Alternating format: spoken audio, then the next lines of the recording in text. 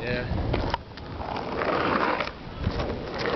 Yeah, it's a pretty hard adjustment to switch between trucks. Like when my my second longboard came in the mail, compared to my metal one, Yeah. the trucks were so loose. I was like falling off it like every 30 seconds. I was like, what the hell? Maybe you should have uh, tightened them. No, I got used to it. I and then I actually loosened my trucks and. On the on the tribal one? No, th those came with loose trucks. Oh, well, no, was, never mind. And then I loosened them on.